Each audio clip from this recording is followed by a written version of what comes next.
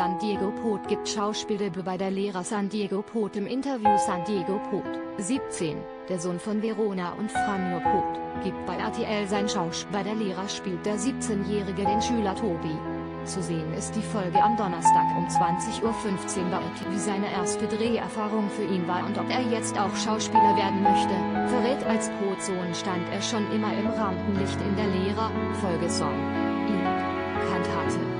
Keine Ahnung, wie man das in ihrem Alter nennt spielte er zusammen mit Nachwuchsschauspielerin Lily Krug, 19, Tochter von Veronika Ferris und Martin Krug. Auch wenn San Diego Pot nun seine erste Serienrolle spielt, hat der Schüler aufgrund seiner berühmten Eltern schon jede Menge Erfahrung im Raum. Zusammen mit Mama hat er schon bei Grill den Hensler gekocht und verriet dort, wie peinlich er seine Mama Verona manchmal findet. Außerdem hat das Mutter-Sohn-Team einen eigenen Podcast.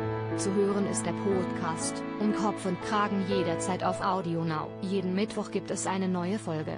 Neue Erfahrung bei der Lehrer trotzdem war das Schauspielern noch einmal eine ganz neue Erfahrung für ihn. Wie er im Interview zu sehen ist San Diego Pot in der Lehre am Donnerstag, dem 4. März, ab 20.15 Uhr bei RTL oder schon jetzt online auf